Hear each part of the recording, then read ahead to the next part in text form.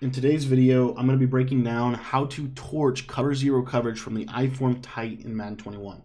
What's up guys, my name is Cody and I want to thank you for watching today's video. And if you're brand new you've never seen my videos before, I do daily Madden 21 tips and tricks. So make sure to follow or subscribe to the channel uh, below. And if you want to get the full scheme, the over two hours of content, go ahead and shoot me a text message. But the play we're going to be going over is Y dig. This is how to bomb cover zero uh, from iTight. Now chances are if you run iForm tight a lot, you're going to get a lot of cover zero. zero. So what I like to do is smart route Mike Evans, put the left side of his uh, receiver on a crossing route or a post route, block both running backs, and motion Mike Evans across.